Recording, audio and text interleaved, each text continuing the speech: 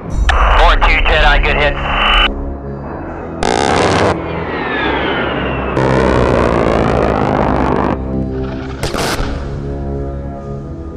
Have you ever wondered why no one wants to challenge the A-10 Warthog in a battle? It's because this close air support aircraft is a force to be reckoned with. Whether you call it the A-10 Thunderbolt or the Warthog, it will rain down armor-piercing ammunition from low altitudes and emerge victorious.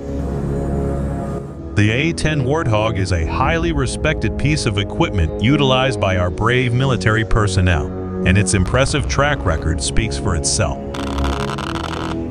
Equipped with a 30mm GAU-8A cannon, this aircraft boasts one of the heaviest automatic cannons ever mounted on an aircraft.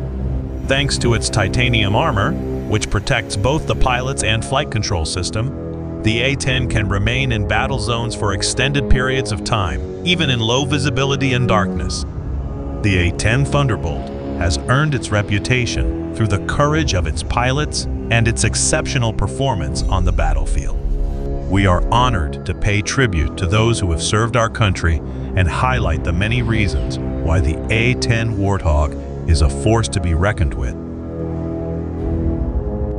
Here's the complete inventory a 30mm GAU-8A cannon, a maximum of 16,000 pounds of various ordnance on eight underwing and three under fuselage pylon stations, a 500-pound Mk-82 and 2,000-pound Mk-84 series low-high drag bombs, incendiary cluster bombs, effects, munitions, mine-dispensing munitions, an AGM-65 Maverick, and AIM-9 Sidewinder missiles.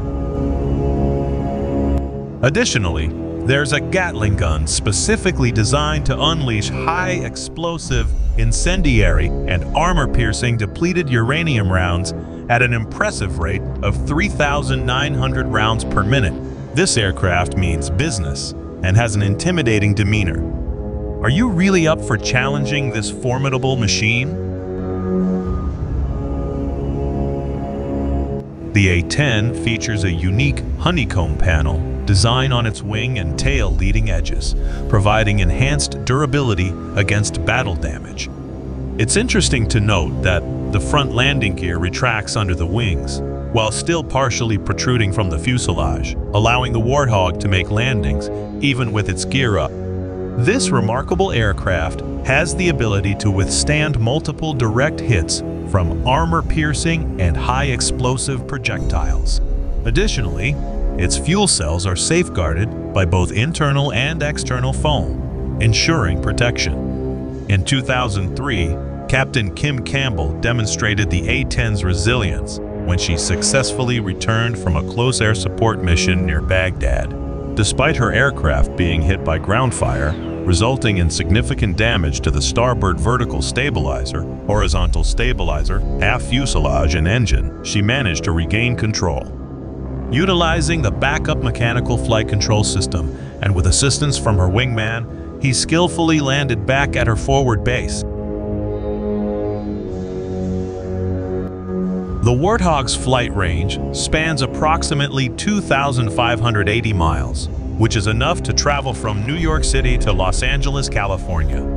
With the help of two General Electric TF-34GE 100 turbofan engines, the aircraft can reach speeds of up to 450 miles per hour or Mach 0.75, making it a highly lethal thunderbolt.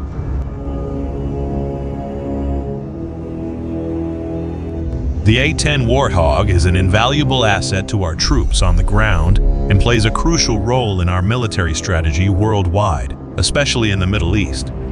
Representative Ruben Gallego expressed his satisfaction in keeping this fleet fully operational and his commitment to preserving this aircraft for the benefit of our warfighters. Designed specifically for close air support missions, the A-10 possesses a wide range of ordnance, extended loiter time, precise weapons delivery, and exceptional field capabilities. The recent upgrade, known as the Low Altitude Safety and Targeting Enhancement, equips the aircraft with advanced computerized weapon, aiming equipment, autopilot ground collision warning system, and various countermeasures against air-to-air and air-to-surface threats.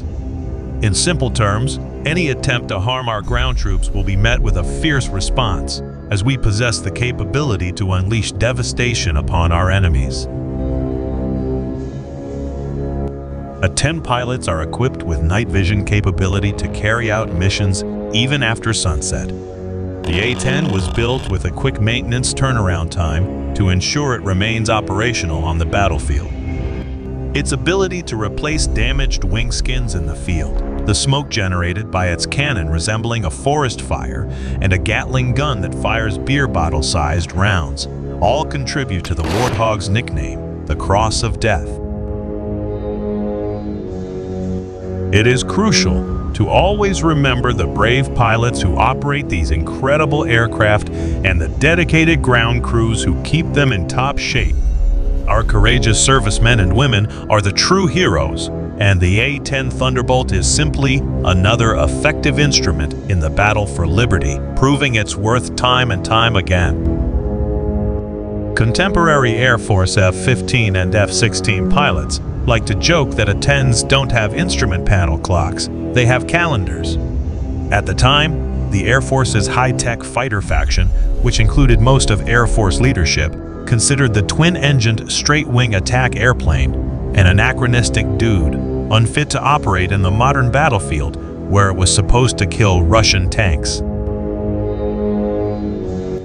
Whether you're talking about a sophisticated stealth bomber or flying machine gun, it's never easy to bring a new warplane into being. How the A-10 program survived its first few years is a complicated story. Former A-10 pilot and author Colonel Arden B. Dahl contends that the Thunderbolt II made it to production by prevailing in two key political battles between the maneuverability and the survivability.